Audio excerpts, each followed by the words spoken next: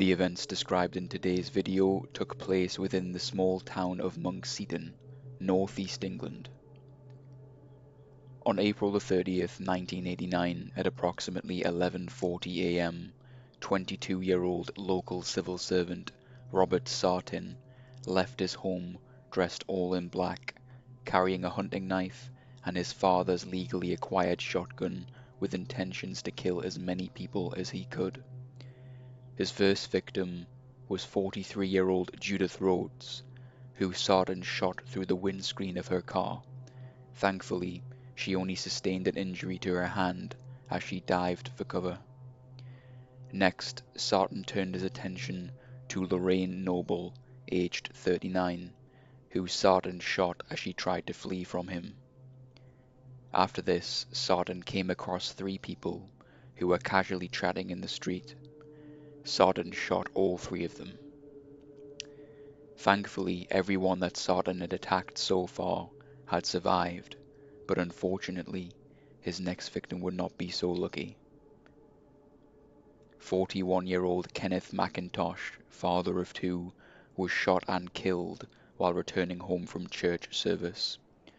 According to witnesses, Mr. McIntosh begged for his life, only for Sartin to reply, No, it's your day to die, and then proceeded to shoot him in the chest. A witness, David Shoulder, was making his way back home after a visit to the local newsagent. He was initially stopped by police, who were gathered at the top of the street of which he lived, who told him he couldn't go any further. But Shoulder protested and asked to be allowed to get back to his family. Despite what was going on, the police agreed to let him pass and make his way back home. Unfortunately, on the way to his home, he came across the corpse of Kenneth McIntosh, who was laying dead outside of his front gate. If you were in Monkseaton on that day, it appears that even if you weren't outside your home, you were not safe, as one of Sartin's victims was shot while she looked out of her window, worried and wondering what was happening outside. Her curiosity took priority over her anxiety and self-preservation, and unfortunately, Robert noticed her peering out of her window.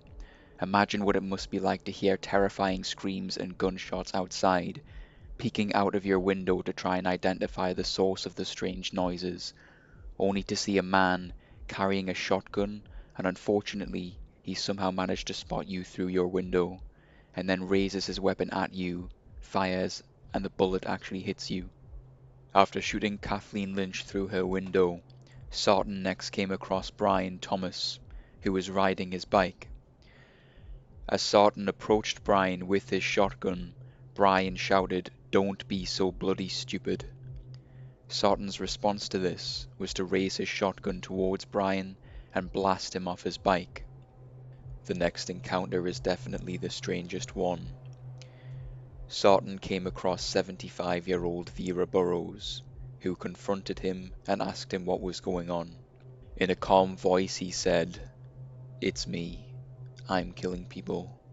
I'm going to kill you.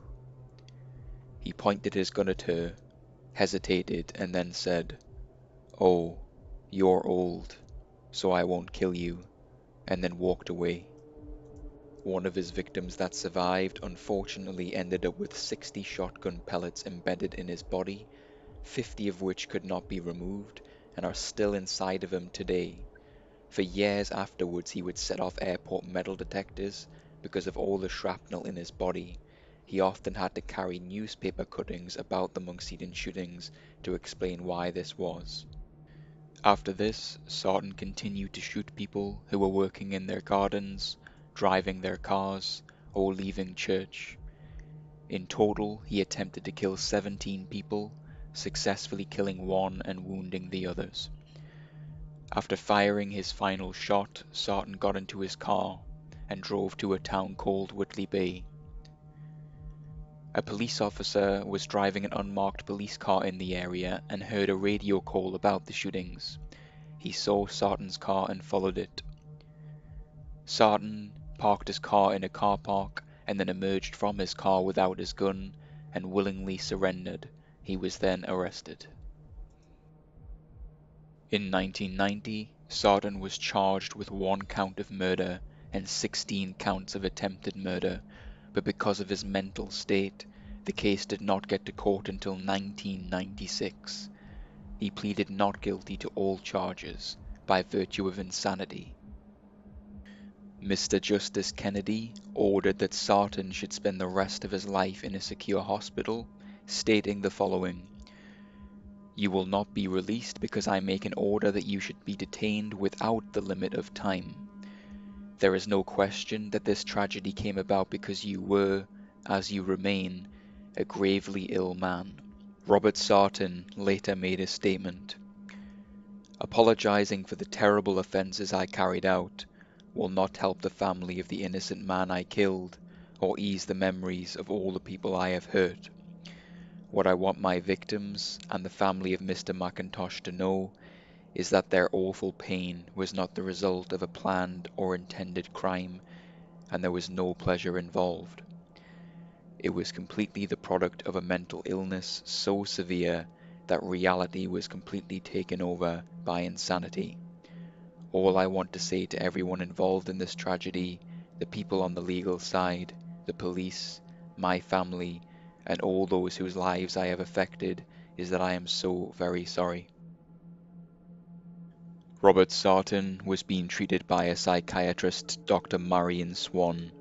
She stated that Robert Sartin was suffering from a major psychotic illness, a rare and severe form of schizophrenia, which unfortunately there is no cure for.